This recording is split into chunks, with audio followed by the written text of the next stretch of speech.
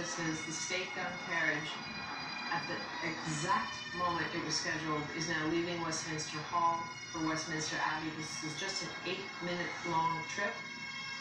Well, we can, let's have a listen, and then we'll talk to Emmett Millen for a moment.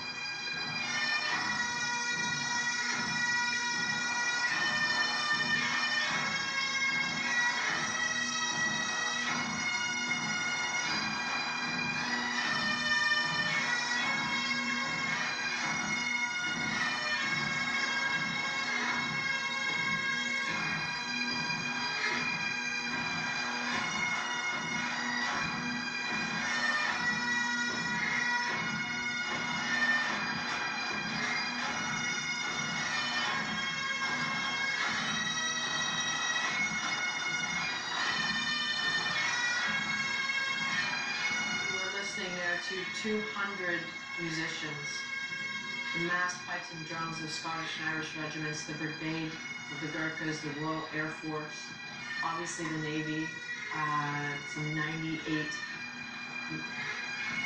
naval officers pulling that coffin.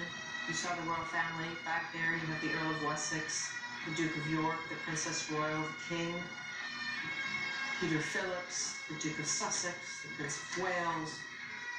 And then you have uh, Princess Anne's husband, Sir Tim Laurence. And then the Queen's cousin, the Duke of Gloucester, and her nephew, the Earl of Snowdon. Anne Macmillan, as you as you watch this and you listen to it, what are you thinking? Well, that crown, Adrian, we have talked about it before, but I can't resist. Again, the imperial